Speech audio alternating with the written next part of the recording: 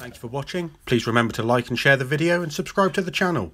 Please support us on Patreon if you're able to and let us know of anything you'd like to see in the future. I look forward to hearing from you.